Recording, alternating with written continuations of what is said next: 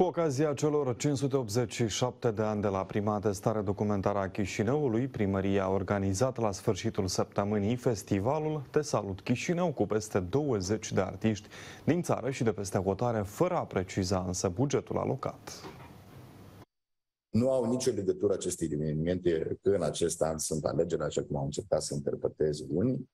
Mai mare uh, dezinformare decât în ultima perioadă nu am întâlnit niciodată. Bugetul Direcției Cultură pentru toate evenimentele, sutele de evenimente mari și mici organizate în țară și peste hotare, susține artiștilor și tinerilor artiști este de peste 30 de milioane de lei pentru întreg an. Lângă cele trei zile de festival în Chișinău, primăria a finanțat și concerte peste hotare în Italia și Spania.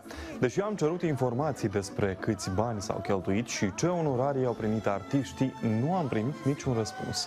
Reprezentanții Direcției Relații Publice și Buget Civil au comunicat că suma nu a fost calculată, dar va fi anunțată în zilele următoare.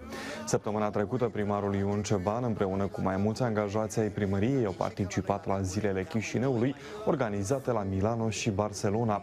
El susține că o parte din cheltuieli ar fi acoperite de sponsori.